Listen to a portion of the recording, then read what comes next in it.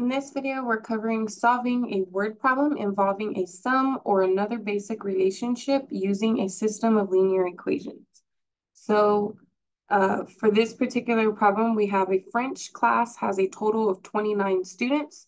The number of females is nine less than the number of males. How many males and how many females are in the class? So essentially, a lot of times these problems, uh, one sentence will give you one equation and another sentence will give you the other equation. And then of course it'll ask you a question. So if I examine this, this first sentence here says a French class has a total of 29 students. And then they go on to ask how many males and how many females there are. So essentially we can come up with an equation where F is the number of females in the class, M is the number of males in the class, and together that should make the total 29 students. So F plus M would equal 29. That's our first equation in our system of equations. Now the second sentence also gives us another equation. So here it says the number of females is nine less than the number of males. So therefore the females is nine less than the number of males. Remember, whenever you use the word than, it kind of swaps the order around that word than. So we know less means subtract, but it's not nine subtract m. Because of the word than, it's actually m subtract nine. And this is how you say, this is nine less than the number of males, okay? Once you have your two equations here, then it's just a matter of solving them whichever method you want to solve them. Since I do have one variable already isolated, I went ahead and used the substitution method, which means this expression will now replace the f. So the f becomes n minus 9. There's no exponent, no coefficient to distribute or exponent to apply. So n minus 9 doesn't necessarily need those parentheses. So once I can write this expression without the parentheses, we can just combine our like terms to get 2m, and then we can re, uh, resume with solving for the variable m. So I added 9 to both sides. I ended up with the equation 2m equal to 38. And then I divided both sides by 2 to get the m all by itself, resulting in that m equals 19. So now we know that the number of males is 19. So there's 19 males. Now, if you want to figure out how many females, remember this equation already had the females isolated. So essentially you can take that equation, f equal to m minus 9, and just plug in the m value that you found. So the m gets replaced by 19, and then 19 minus 9 equals 10. So this means that there are 10 females. So 19 males, 10 females. Again, just to double check, that does uh, come out to be the total 29 students. Okay. And I do have some other examples because I noticed that there were different scenarios. So I have two more. This one says the sum of two numbers is 57. So remember that first sentence gives us an equation and sum means to add, right? So we're adding two numbers and it's going to equal 57. And I think I have an error here. I put one. So let me grab my purple. I gotta grab my purple pen. There we go. And we'll change this because it should have been 57.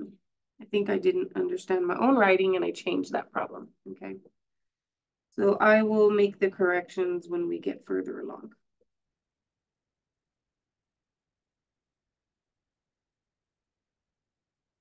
Okay, so if that is our first equation, now how did I choose the letters? I paid attention to the rest of the paragraph.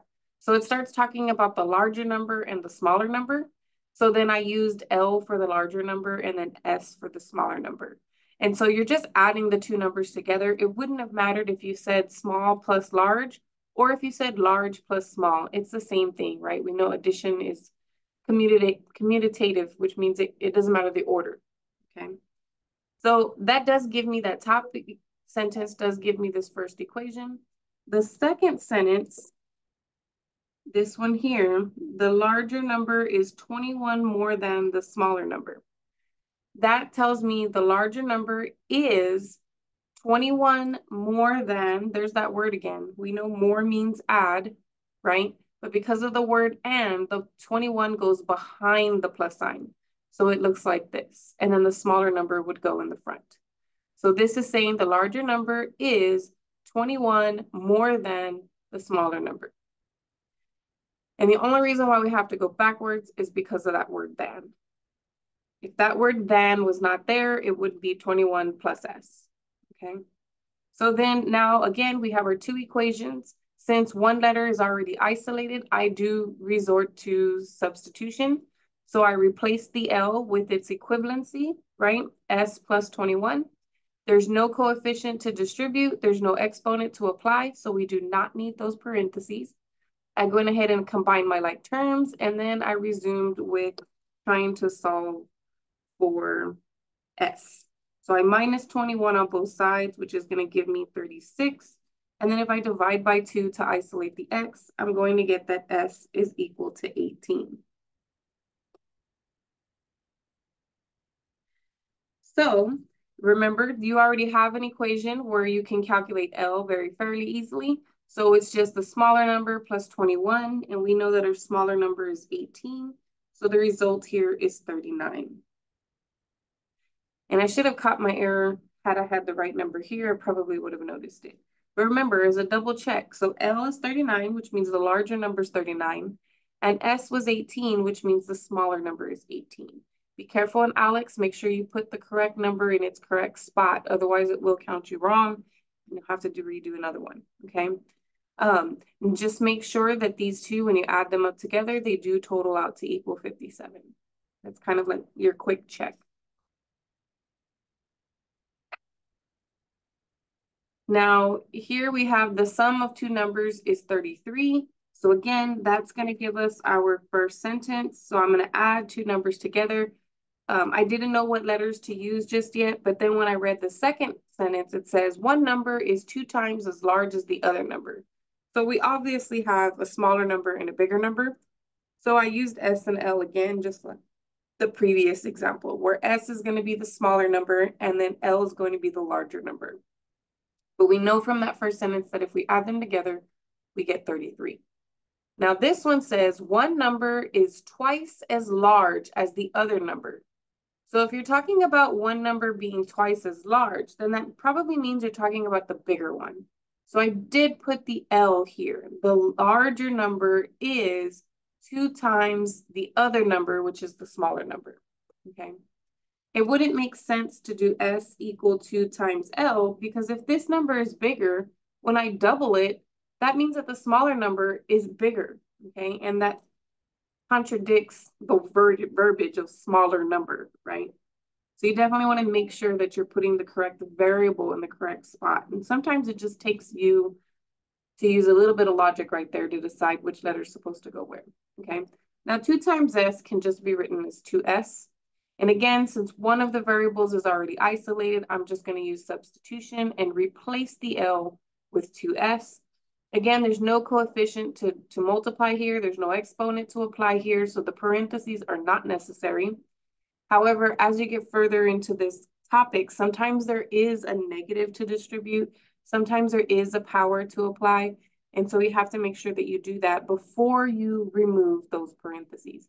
Never just substitute something in without putting it in parentheses initially. Once it's in parentheses, then you can decide whether or not it needs those parentheses or if they're unnecessary, okay? So once I had this, I went ahead and combined my like terms and I got 3s. So to solve for s, I divided both sides by 3 and that resulted in s equaling 11. And remember you have this formula here to calculate the larger number. So it's just 2 times s, which means 2 times 11, which is 22. So the larger number is 22, the smaller number is 11. And if you add those up together, you do end up with the 33 total.